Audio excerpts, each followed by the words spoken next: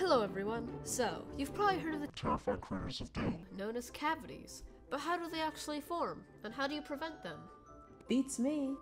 It all starts with consuming foods and drinks with a lot of sugars and starches. If your teeth are not cleaned off properly, bacteria, mainly Streptococcus mutans, will begin to feed on the sugars, creating a sticky film on the surface of your teeth called dental plaque.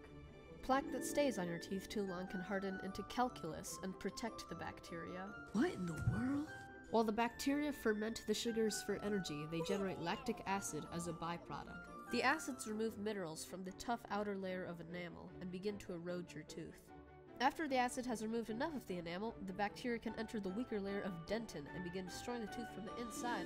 What the? This is violent! Are parents gonna be okay with their kids watching this? Okay. The acid destroys your dentin, causing sensitivity. It'll eventually reach the pulp, the final blood vessel and nerve filled layer deep in the center of your tooth. The pulp is irritated by the bacteria, causing it to swell up and become very painful. So, how do you prevent this horrific chain of events? Step 1. Brush and floss your teeth twice a day, and after you eat sticky, sugary foods. And go to the dentist regularly because in the early stages it can be hard to notice cavities.